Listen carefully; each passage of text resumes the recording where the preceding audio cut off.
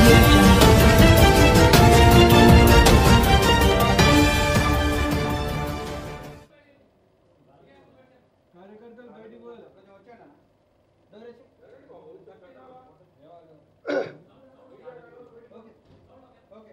పాత్రికేయ మిత్రులకు నమస్కారం. గత పదకొండు రోజులుగా తెలంగాణ రాష్ట్రంలో ఆర్టీసీ సమ్మె జరుగుతున్నది. ఈ సమ్మె నేపథ్యం మీకు అందరికీ తెలుసు. గత ఐదు సంవత్సరాల నుంచి ఆర్టీసీ కార్మికులు రాష్ట్ర ప్రభుత్వం తెలంగాణ రాష్ట్రంలో వాళ్ళ సమస్యలకు శాశ్వత పరిష్కారం చూపిస్తుందని వాళ్ళు అధికారిక కార్మిక సంఘంగా ఎన్నికై దానికి గౌరవాధ్యక్షుడిగా హరీష్ రావు గారిని నియమించుకోవడం జరిగింది.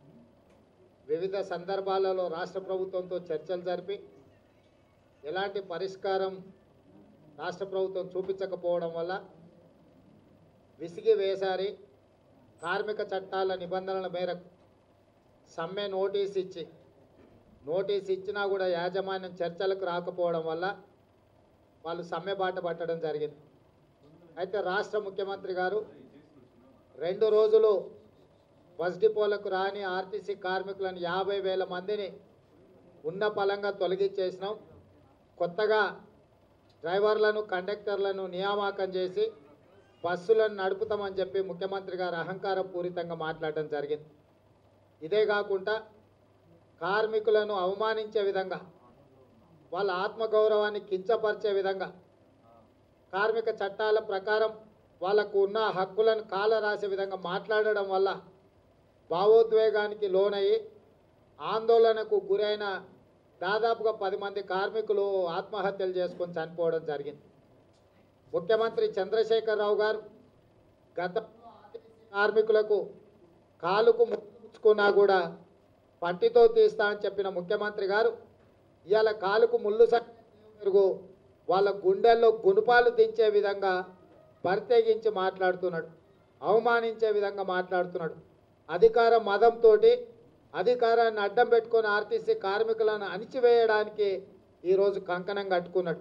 ఇవాళ పోలీసులను ఉపయోగించి ఆర్టీసీ కార్మికుల మీద బలప్రయోగం చేసి డ్రైవింగ్ వచ్చినా రాకపోయినా రోజుకు పదిహేను వందల రూపాయలు డ్రైవర్లకు ఇస్తాం వెయ్యి రూపాయలు కండక్టర్లకు ఇస్తామని చెప్పి ఈరోజు కార్మికుల మనోస్థైర్యాన్ని దెబ్బతీసే విధంగా బస్సులను నడుపుతా అని చెప్పి తన పెత్తనాన్ని వాళ్ళ మీద చూపించే ప్రయత్నం చేస్తుండే తప్ప ఈ సమస్యకు శాశ్వత పరిష్కారం చూపించడం లేదు.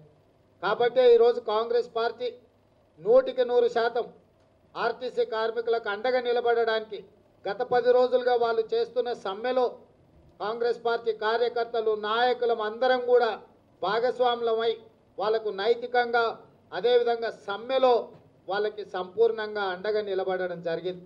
ఇప్పుడు కూడా రాష్ట్ర ప్రభుత్వాన్ని కాంగ్రెస్ పార్టీ డిమాండ్ చేస్తుంది.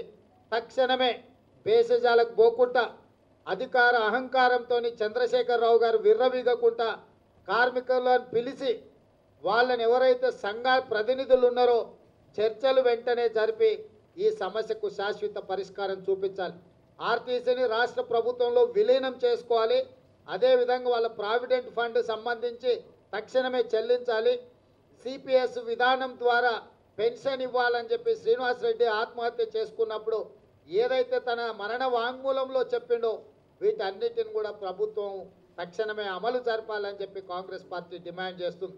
ఇదే కాకుండా రోజువారీగా ఆర్టీసీ కార్మికులు ఏదైతే సమ్మె చేస్తున్నారో ఈరోజు ఆ అంశాలన్నిటిని కూడా కాంగ్రెస్ పార్టీ పెద్దలు షబ్బీర్ గారి నాయకత్వంలో దామోదరాజ నరసింహ గారి నాయకత్వంలో మేమందరం సమీక్షించి గత పది రోజులుగా జరుగుతున్న ఆర్టీసీ సమ్మెను సమీక్షించి భవిష్యత్ కార్యాచరణను ఈరోజు కాంగ్రెస్ పార్టీ నిర్ణయం తీసుకున్నది. ఈరోజు సంపూర్ణంగా కాంగ్రెస్ పార్టీ అండగా నిలబడదలుచుకున్నది. ఈ సందర్భంగా NSUI youth Congress Congress party మహిళా కాంగ్రెస్ వివిధ అనుబంధ విభాగాల మా సభ్యులందరూ కూడా సూచన చేస్తున్నాం. రాష్ట్రంలో ఉన్న తొంభై ఆరు బస్ డిపోల దగ్గర ఎక్కడ వంట వార్పు కావచ్చు రాస్తా రోకో కావచ్చు ధర్నా కావచ్చు రేపు పంతొమ్మిది తారీఖు జరగబోయే బంద్ విషయంలో కూడా సంపూర్ణంగా మా శ్రేణులు ఆర్టీసీ కార్మికులకు సహకారాన్ని అందించాల్సిందిగా ఈరోజు కాంగ్రెస్ పార్టీ నిర్ణయం తీసుకున్నది. పంతొమ్మిది తారీఖు బంద్ లోపల సరైన ప్రభుత్వం స్పందించి ఈ సమస్యకు పరిష్కారం చూపించకపోతే ఇరవై ఒకటి తారీఖు రోజు ప్రగతి భవన్ ముట్టడి కార్యక్రమాన్ని కాంగ్రెస్ పార్టీ తీసుకుంటుంది. ఈ లోపల సమస్యకు పరిష్కారం చూపించకపోతే కాంగ్రెస్ పార్టీ శ్రేణులకు పిలిపిస్తున్నాం. ఇరవై ఒకటి తారీఖు రోజు ప్రగతి భవన్ అనే గడిలో చంద్రశేఖరరావు గారు కూర్చొని తన అధికార మదంతో పోలీసుల బలప్రయోగంతో రాష్ట్రాన్ని నడపాలని ఆర్టీసీ కార్మికులను అణచివేయాలని ఏదైతే చూస్తున్నాడో వాటికి నిరసనగా ప్రజాస్వామ్యాన్ని కాపాడడానికి ఆర్టీసీ సంస్థను ప్రైవేటైజ్ కాకుండా కాపాడడానికి ఈరోజు కాంగ్రెస్ పార్టీ కంకణబద్ధమై ఉంది కాబట్టి కాంగ్రెస్ పార్టీ ఇరవై ఒక్క తారీఖు రోజు ప్రగతి భవన్ ముట్టడి కార్యక్రమాన్ని కూడా ఈరోజు తీసుకోవాలని నిర్ణయం తీసుకున్నాం. ఏంటండి? వీడియో నచ్చిందా? అయితే ఓ లైక్ వేసుకోండి. లేదంటే ఓ కామెంట్ చేయండి. ఎప్పటికప్పుడు మా వీడియోస్ చూడాలంటే సబ్స్క్రైబ్ చేసుకోండి.